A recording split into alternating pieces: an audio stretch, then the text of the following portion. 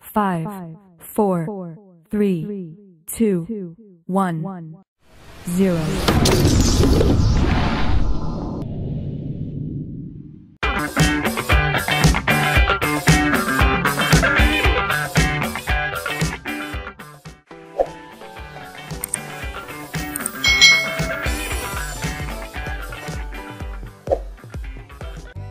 Hai hai hai Selamat datang di channel youtube Kak Citra.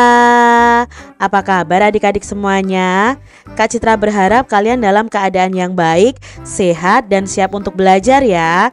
Hari ini kita akan belajar bersama-sama untuk mata pelajaran tematik kelas 5 Kita belajar di tema 7 Peristiwa dalam kehidupan Subtema 1 Peristiwa kebangsaan masa penjajahan pembelajaran yang kelima Mari adik-adik kita belajar dengan penuh semangat ya Peristiwa Sumpah Pemuda pada tahun 1928 memberi dampak yang sangat besar terhadap perjuangan pergerakan nasional. Apa saja dampaknya? Mari kita pelajari bersama adik-adik. Dampak peristiwa Sumpah Pemuda 1928 pada tanggal 28 Oktober 1928 suatu tekad yang sangat penting bagi penguatan konsep eh, wawasan kebangsaan Indonesia telah diikrarkan. Ikrar tersebut merupakan modal yang sangat berharga bagi terbentuknya negara kesatuan adik-adik. Tekad untuk bersatu dan mengesampingkan alasan-alasan kedaerahan, kesukuan, keturunan, keagamaan, dan golongan. Namun persatuan itu tetap dalam kerangka saling menghormati dan menghargai perbedaan-perbedaan yang ada. Kesemuanya bersatu padu adik-adik dan melebur dalam ikrar sumpah pemuda. Sejak peristiwa Sumpah Pemuda 1928, dunia dikejutkan oleh kemampuan dan kebulatan tekad bangsa Indonesia untuk bersatu padu dalam sebuah ikatan kebangsaan. Pengaruhnya pun sangat besar bagi organisasi pergerakan. Organisasi-organisasi politik yang lahir setelah peristiwa Sumpah Pemuda semuanya memakai kata Indonesia dalam namanya. Begitupun dengan organisasi yang masih bersifat kedaerahan mulai memproses untuk bersatu dalam satu wadah yaitu organisasi Indonesia Muda.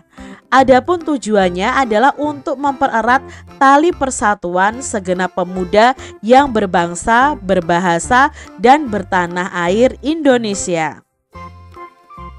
Peristiwa Sumpah Pemuda ini adik-adik telah membawa kesadaran dalam diri setiap orang akan pentingnya persatuan dan kesatuan dalam sebuah bangsa. Nah, penyatuan berbagai sifat kedaerahan menjadi sifat nasional terus dilakukan. Peristiwa Sumpah Pemuda ini menegaskan rasa senasib sepenanggungan sebagai satu bangsa. Rasa inilah yang kemudian menyebabkan timbulnya semangat persatuan untuk membentuk sebuah negara kesatuan.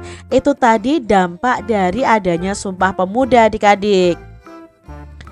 Buatlah ulasan mengenai bacaan tersebut pada bagian di bawah ini. Nah, di sini Kak Citra sudah membuat ulasan tentang teks bacaan tadi ya, dampak peristiwa Sumpah Pemuda 1928. Mana bagian yang menarik dari bacaan itu atau dari teks itu? Nah, bagian yang menarik adalah sejak peristiwa Sumpah Pemuda ini, dunia itu dikejutkan oleh kemampuan dan kebulatan tekad bangsa Indonesia untuk bersatu padu dalam sebuah ikatan kebangsaan. Lalu informasi pentingnya apa dari bacaan tadi? Nah, informasinya yang penting adalah pada tanggal 28 Oktober 1928 terbentuk tekad untuk bersatu dalam ikrar Sumpah Pemuda. Lalu sejak peristiwa Sumpah Pemuda ini timbul kebulatan tekad bangsa Indonesia untuk bersatu padu dalam sebuah ikatan kebangsaan. Peristiwa Sumpah Pemuda ini berpengaruh sangat besar bagi organisasi pergerakan dan peristiwa Sumpah Pemuda ini menegaskan rasa senasib sepenanggungan sebagai satu bangsa.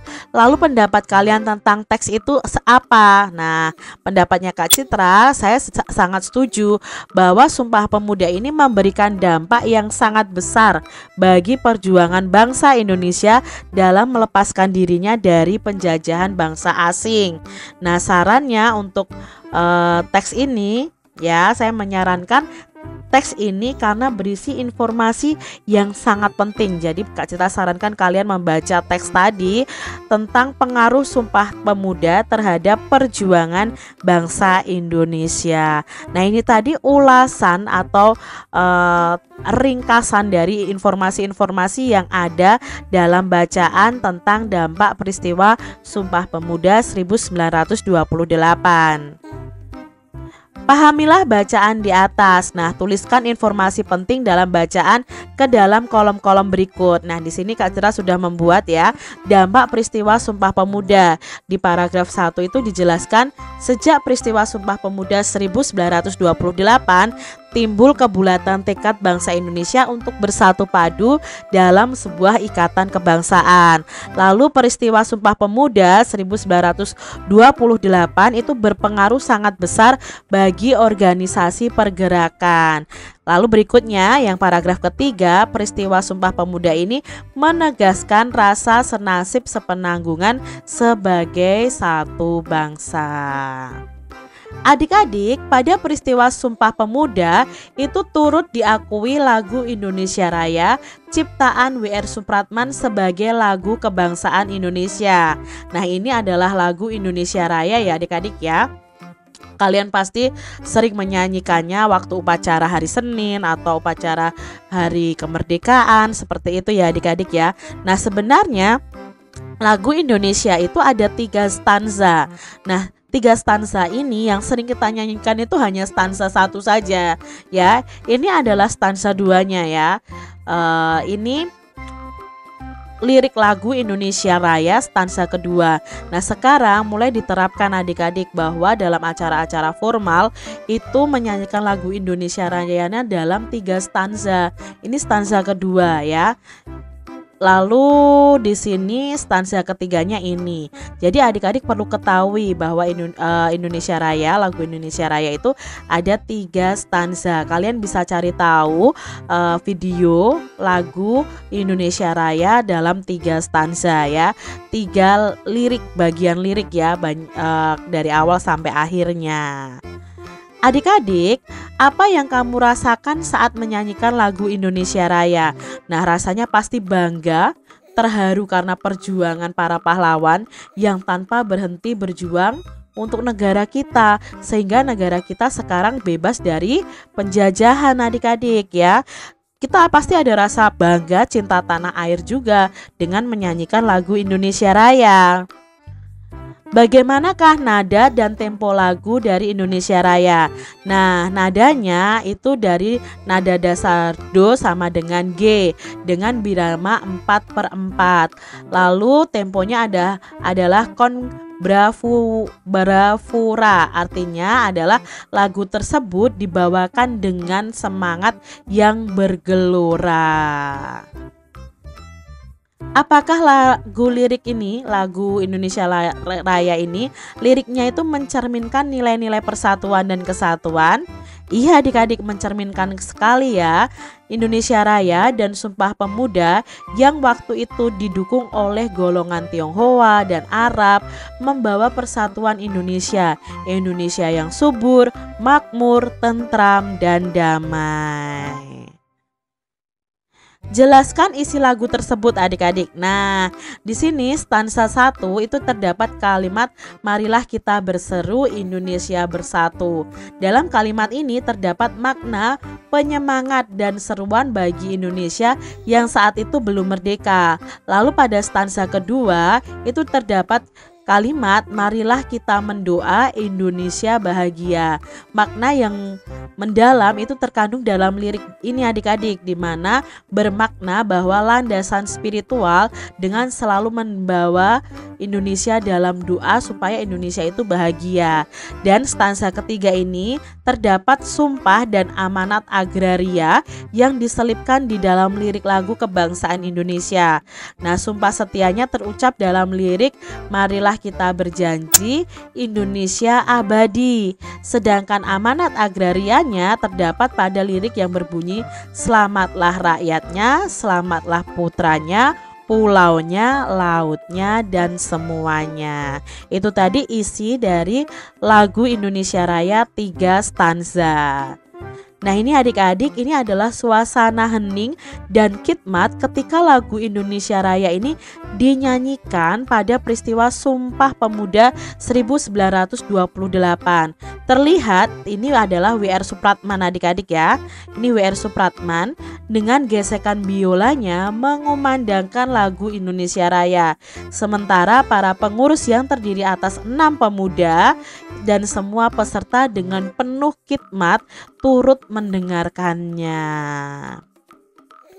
Adik-adik, di sini kita akan belajar lebih lanjut mengenai peristiwa mengembun dan menyublim. Selain peristiwa mencair, membeku, dan menguap, masih terdapat dua peristiwa perubahan wujud benda. Perubahan wujud benda yang dimaksud adalah mengembun dan menyublim. Kalau kemarin kita sudah belajar mencair, membeku, dan menguap. Nah, mengembun adalah peristiwa perubahan wujud dari gas menjadi cair. Peristiwa ini merupakan kebalikan dari peristiwa menguap adik-adik kalau menguap kan dari cair menjadi gas. Nah pada waktu gas mengembun gas melepaskan kalor karena terjadi penurunan suhu di sekitarnya. Peristiwa sehari-hari yang mudah kalian jumpai antara lain adalah peristiwa pengembunan yang terjadi di pagi hari. Jadi misalnya kalian pergi ke lapangan pagi hari itu rumputnya basah. Itu ada embunnya adik-adik. Meskipun pada malam hari sebelumnya tidak terjadi hujan tetap tetapi pada pagi hari terdapat tetesan air pada tanaman yang berada di luar. Kamu juga dapat menjumpai beberapa tempat terasa lembab oleh air. Nah, peristiwa mengembun ini terjadi karena uap air dalam udara menyentuh permukaan seperti permukaan daun dan permukaan lainnya. Itu tadi mengembun. Nah, sekarang menyublim. Menyublim itu merupakan peristiwa perubahan wujud zat padat menjadi gas. Mengkristal adalah perubahan gas menjadi padat, kebalikannya adik-adik. Nah, peristiwa lenyapnya kapur barus Adik-adik pasti di rumah punya kapur barus ya. Kalau didiamkan saja di lemari, lama kelamaan kapur barusnya akan mengecil-mengecil dan habis. Nah, yang diletakkan kapur barusnya di dalam lemari itu sering dijadikan contoh peristiwa menyublim. Ke mana? Ya dari padat menjadi gas itu. Itu namanya peristiwa menyublim. Nah, contoh peristiwa ini terjadi pada saat uap iodium yang mengkristal menjadi padatan pada saat didinginkan pada suhu tertentu. Nah, ini ada peristiwa yang namanya mengkristal. Itu adalah e, peristiwa terjadinya uap iodium dari ya mengkristal menjadi padatan ya yang sa saat didinginkan pada suhu tertentu. Nah, peristiwa perubahan wujud benda itu dapat dijelaskan menggunakan diagram seperti ini. Ini sudah Kak Citra pernah jelaskan adik-adik pada pembelajaran sebelumnya. Contohnya di sini ada benda padat, ada benda gas, ada benda cair. Nah, benda padat berubah menjadi gas itu namanya menyublim. Nah, menyublim itu untuk dari padat menjadi gas itu diperlukan kalor atau panas. Sedangkan untuk dari gas menjadi padat itu namanya mengkristal. Itu melepaskan kalor ya. Lalu di sini dari padat menjadi cair itu namanya mencair. Untuk mencair memerlukan panas adik-adik. Sebaliknya, kalau dari cair menjadi padat itu namanya membeku. Nah, ini melepas kalor. Lalu dari cair menjadi uap atau menjadi gas itu namanya menguap itu memerlukan kalor Kebalikannya, gas menjadi cair itu mengembun, itu melepaskan kalor. Ini pengertian dari diagram ini adik-adik. Jelaskan bagian perubahan wujud benda di atas dengan lengkap berdasarkan pengamatanmu sebelumnya dan bacaan yang kamu miliki. Nah, di sini tadi sudah Kak Citra jelaskan ya uh, dari diagram tadi apa itu mencair, mengkristal, menyublim, menguap, membeku. Sudah Kak Citra jelaskan semuanya. Jelaskan perbedaan antara, peristiwa mengembun dan menyublim. Nah, pada peristiwa menyublim, zat itu membutuhkan kalor, sedangkan pada peristiwa mengembun, zat itu akan melepaskan kalor. Nah, mengembun terjadi pada benda gas ya benda gas menjadi benda cair. Sedangkan menyublim itu terjadi pada benda padat menjadi gas adik-adik. Itu perbedaan mengembun dan menyublim. Lalu apa perbedaan antara mengembun dan disposisi. Disposisi itu mengkristal adik-adik. Nah perbedaannya mengembun itu merupakan perubahan wujud benda dari gas menjadi cair. Sedangkan deposisi itu merupakan perubahan wujud benda dari gas menjadi padat ya. Disposisi tadi uh, bisa disebut juga dengan mengkristal. kristal.